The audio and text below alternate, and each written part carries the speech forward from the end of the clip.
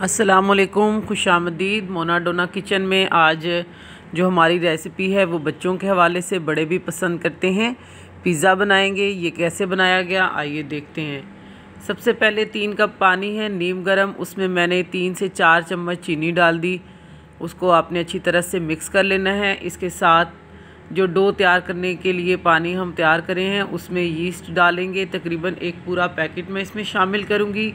मुझे दो से तीन अदद पिज़्ज़ा बनाने हैं, इसलिए पानी भी ज़्यादा ही बना रही हूँ। इस तरह से एक साशे मिलता है, इसमें तीन से चार चम्मच यीस्ट होगी, वो सारी हम शामिल करके पानी को खमीर बना लेंगे और इसी से हमने अपना मैदा या डो जो है वो गूंदनी है।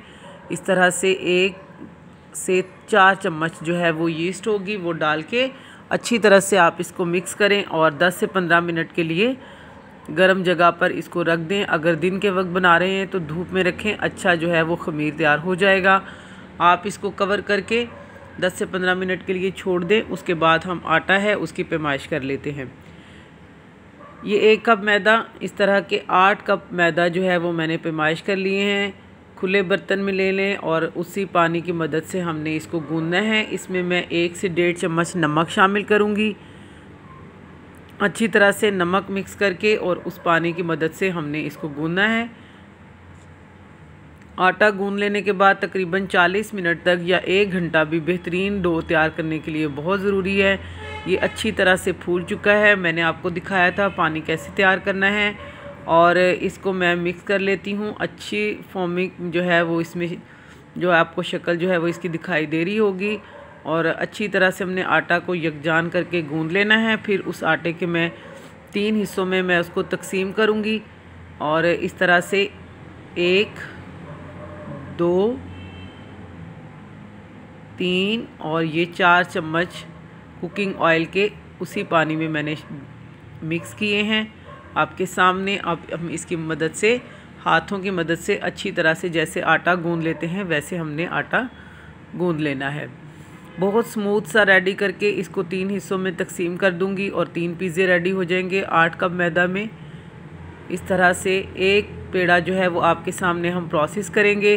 तीन पेड़ों में ये मैंने लोई बना ली है बड़ी बड़ी सी, एक बाउल में शीशे के में डाला है और तकरीबन एक घंटा तक के लिए इसको ख़मीर करेंगे। उतनी देर में हमने जो चिकन इसमें इस्तेमाल करना है, वो हमने इस तरह से हाथ की मदद से इसका कीमा बना लिया और टिक्का मसाला है, तकरीबन एक पूरा पैकेट इस्तेमाल करूँगी। एक किलो बोनलेस चिकन है चिली सॉस सोया सॉस और थोड़ा सा सिरका डाल के हमने चिकन को पकाना है। थोड़ा सा ऑयल डालें और 10 से 15 मिनट में कुक हो जाती है। मैरिनेट करने की ज़रूरत नहीं है। कुक होते हुए ही अच्छी तरह से फ्लेवर जो है वो उसमें आ जाएगा। ये हमारी टॉपिंग्स में शिमला मिर्च है, टमाटर, प्याज और चीज़ है, वो भी हमने कद्दूकश करके रख ली है। अब आपको मैं डो दिखा देती हूँ। ये एक घंटे के बाद इस तरह से ख़मीर होके बहुत अच्छी शक्ल में आ गया है और मैं आपको दिखाती हूँ इसमें कितनी एयर है। इस तरह से आप इसको पुश करें और ठीक ठाक और बहुत ज़बरदस्त सी डो जो है वो हमारी रेडी है। फिर दोबारा इसको अच्छी तरह से स्मूदली आप इसको गूंद लें। मैं आपको दिखाती हूँ नीचे कितने एयर बबल्स जो हैं वो बने हुए हैं और ये एक अच्छी और बेहतरीन डो की निशानी है। इसको हम दोबारा हाथ से नरम करके और एक ट्रे में है नॉन स्टिक ट्रे में थोड़ा सा ऑयल लगा लें। मैदा छिड़कने के बाद इसको मैं अच्छी तरह से इस मैदे को फैला दूँगी। इस अपनी डो को जो हमने पिज़्ज़ा के लिए रेडी की है और हाथों की मदद से फैला लें। फिर एक कांटे से हमने इसमें छोटे छोटे से होल करने हैं ताकि जो पिज़्ज़ा सॉस का टेस्ट है वो इसमें अच्छी तरह से आ जाए और बेकिंग में जो ब्रेड है वो फूल के अच्छा रिज़ल्ट हमें। इस तरह से अच्छी तरह से फैला लेने के बाद कांटे की मदद से सारे जो ट्रे है, पिज़्ज़ा ट्रे है, उसकी डो में हमने इस तरह से सुराख कर लेने हैं। ये भी मैं आपको करीब से दिखा देती हूँ। होल आ जाएँगे तो टेस्ट अच्छा जो है वो ब्रेड में भी शामिल होगा। इस तरह से ये सारा रेडी है। अब इसके ऊपर मैंने पिज़्ज़ा सॉस है, वो भी आपको बनाना सिखाई थी। उसका लिंक मैं डिस्क्रिप्शन बॉक्स में दे दूँगी। इसको अच्छी तरह से फैला लें, फिर हमारी टॉपिंग्स में चिकन है और चीज़ है, प्याज है, टमाटर, शिमला मिर्च, जो चीज़ आप पसंद करते हैं। बच्चे यहाँ ऑलिव्स नहीं खाते, लिहाजा मैं वो इस्तेमाल नहीं करी।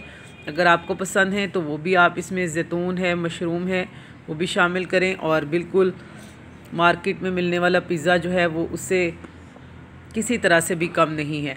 इस तरह से ये चिकन और फिर थोड़ी सी चीज़ और बाकी टॉपिंग्स डालने के बाद सारी ड्रेसिंग करें, खूबसूरत सा पिज़्ज़ा अभी जो है वो देखने में तो बहुत अच्छा लग रहा है टेस्ट में भी दुआ करते हैं अच्छा हो। अगर आपको वीडियो अच्छी लगे तो ज़रूर ट्राई कीजिएगा। इजी सी रेसिपी है और पिज़्ज़ा तो हर घर में बहुत बच्चे शौकीन होते हैं। बाहर नहीं, घर में बनाएँ। ओवन में बनाकर दिखा रही हूँ इन किसी दिन आपको प्रेशर कुकर में या घर में जो बड़े पतीले होते हैं, उसमें भी पिज़्ज़ा जो है वो रेडी हो जाता है। वो भी आपके साथ शेयर करेंगे। इस तरह से सारी चीज़ें जो सब्ज़ियाँ मैंने काटी थी, वो इस पर डाल के आपके सामने इसको तैयार करते हैं। फिर थोड़ी सी चीज़ डालेंगे और माइक्रोवेव ओवन में कुकिंग रेंज में, सॉरी, उसमें हम इसको 150 से 80 डिग्री पर पहले 20 मिनट के लिए गर्म करेंगे और 15 मिनट में 15 से 20 मिनट में ही ये जो है वो बेक हो जाएगा। बहुत अच्छी तरह से पहले से हीट किया हुआ है। 10 मिनट और 150 है 180 पे ले जाते हैं। और इसमें मैंने इसको 20 मिनट तक जो है वो कुक करना है। माशाल्लाह हमारा पिज़्ज़ा रेडी है। इसकी मैंने कटिंग बोर्ड पे निकालने के बाद इसके स्लाइस काट लूँगी। आपके सामने दिखाते हैं कि इसकी ब्रेड कितनी सॉफ्ट और ज़बरदस्त रेडी हुई है। चीज़ जो है वो ऊपर से भी हमने रोस्ट की है। क्रिस्पी जो है वो पसंद करते हैं बच्चे, इसलिए उसी मुताबिक मैंने किया है। बहुत यमी और बहुत सॉफ्ट ब्रेड इसकी रेडी हुई है। ये इस तरह से आप चेक करें। ज़रूर ट्राई करें। अगर मेरे चैनल पर फ़र्स्ट टाइम है तो चैनल को सब्सक्राइब करें कमेंट्स करें। इन फिर किसी अच्छी रेसिपी के साथ मोनाडोना किचन में आपकी खिदमत में हाज़िर होंगे। इजाज़त दें। अल्लाह हाफिज़।